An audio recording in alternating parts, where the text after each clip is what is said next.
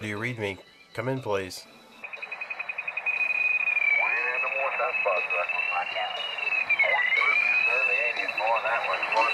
If you can hear me, I'm going to attempt to send that QSP song through now. Pretty good.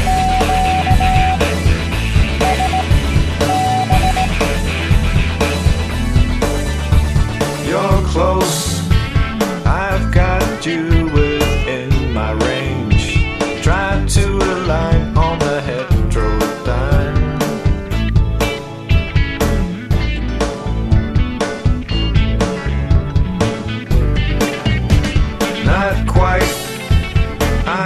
lost you again, my friend.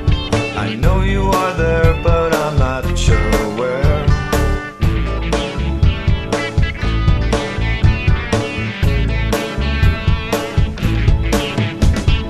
Can't you zero beat my beacon? Can you jump back on the frequency?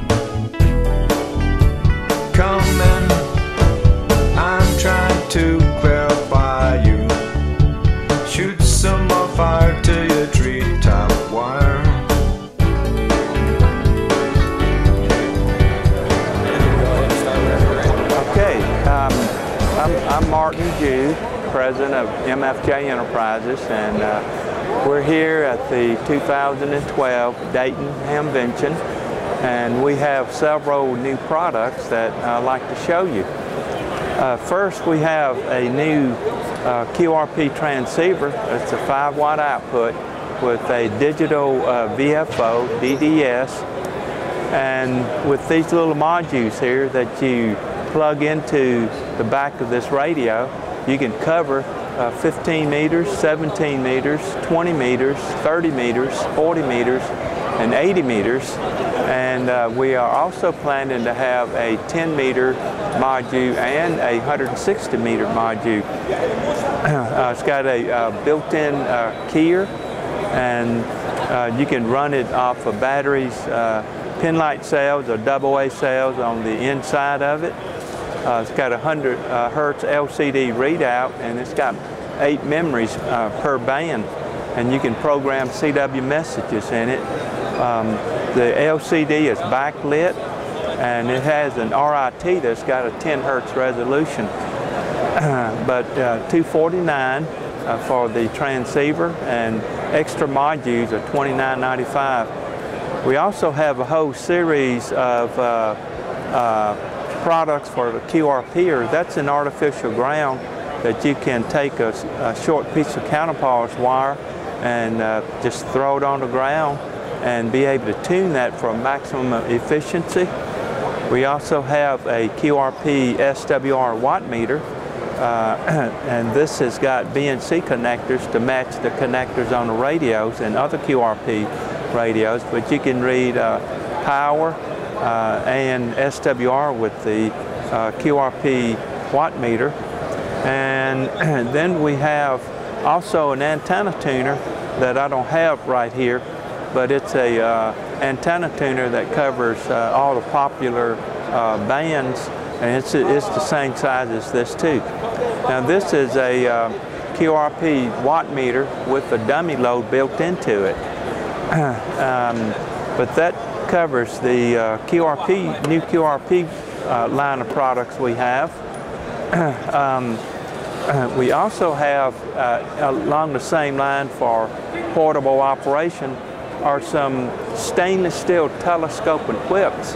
We have some that extends out to eight feet, uh, collapses down to about 20 inches, and we have one that extends out to 12 feet and another one that extends out to 17 feet, which means it's a full quarter wave on 20 meters and all bands higher than uh, 20 meters. And that one whip, you can operate all bands from uh, 2 meters, 440, all the way down to 20 meters. If you want to operate 30 meters and uh, 40 meters, um, we have a set of loading coils um, that you can uh, screw to the 3 8 by 24 uh, mount on the end of it and be able to tap it so you can resonate any band you want to up through 40 meters with an 8 foot whip. You can also use it mobile. Uh, the, these are very high Q air wound coils.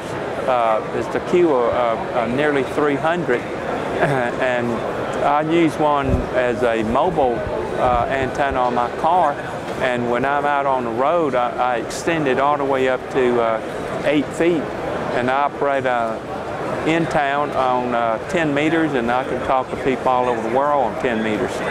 Now uh, when um, I'm driving around in town and I need to pull into my garage, I will collapse my antenna down so I can drive into my garage and but I can still resonate it to any band I like just by tapping on the car. So it's a very versatile system. And based on those two antennas, the telescope and whip, and these are stainless steel, so they're very strong. Um, we have a dipole. It's a V-shaped uh, dipo uh, that can be mounted on a tripod and you can operate any band from 20 meters up through 2 meters and uh, 220, um, uh, 440 megahertz. They're, it's a balanced dipole antenna. Now, for those who would like to make it even simpler, we have uh, a version of that which is a vertical that you can mount on a tripod and you can just lay a counterpoise wire on the ground and be able to operate with very low angle uh, DX operation. Um, we, uh, let's see, we have a new uh, uh, 2 meter, 440 and 220 uh, antenna tuner. And um, this is a um, interesting product here. When you're operating mobile, uh, um, you, you're your um, battery may be kind of weak. And when you crank the car up, the battery voltage can go down so low that all your computer chips get reset. And this would prevent that. There's a delay uh, that comes uh, that you can set on this where you crank your car up, there's a delay, and then, then it will uh, uh connect your transceiver to the battery system so it prevents that resetting of all your computer chips. Uh, it also has, uh, gets rid of uh, um, just the uh, spikes that occurs when you start um, um, start your car up. Uh, there's also a, um, a low voltage set on it that it just disconnects your transceiver if the voltage gets too low when uh, you're uh, operating without the engine on and uh, keeps you from running your battery down so low that you can't crank your car and go somewhere. so, but anyway, this is a product that gives you a lot of protection for $29.95. and for those who like to build uh, vertical antennas, phase some antennas, this is a phase meter and it's accurate to uh, less than one degree and uh, you can use this to uh, measure 90 degrees, quarter wavelength uh, transmission lines, half wavelength transmission line. Uh, it's got a digital readout on it.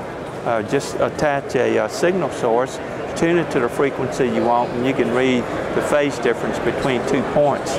Um, we have a um, new large uh, SWR uh, watt meter that has a cross needle on it and um, um, it's got peak reading and average reading and it covers 20 watts, 200 watts and 2000 watts.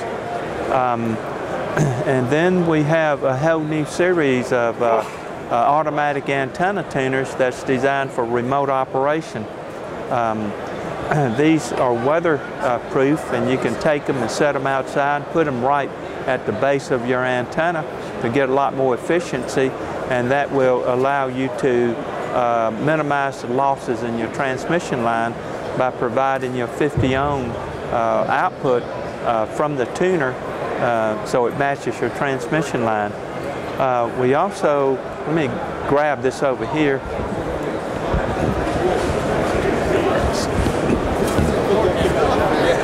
much. We have a uh, mobile uh, antenna mount for a trailer hitch. You slide this into your trailer hitch and you can mount an HF antenna, a ham stick, or some other antenna. And if you have an antenna that's got an SO239 mount on it, you can put an SO239 mount on it and have well, actually two antennas at once. And there's, there's a place here that you can mount a shunt cord to match your antenna. and then this is another mount here. This is a uh, license plate mount. You take your license plate off of your car or your truck and you put this in place of it and mount your license plate back on it. And now you have a place that you can attach antennas without having to drill holes. um, we also have some new high current power supply. This is a 30 amp, very compact switching power supply. And then this is one for 28 amps with a cigarette lighter plug, uh, high current power supply.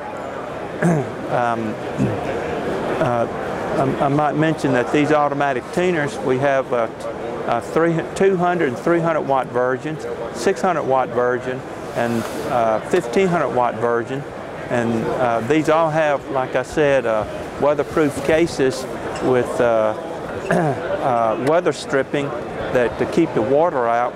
And this one, the 1500 watt version, has a uh, stainless steel chassis on it, and it has some controls and displays on the inside that uh, allows you to do all the testing on it.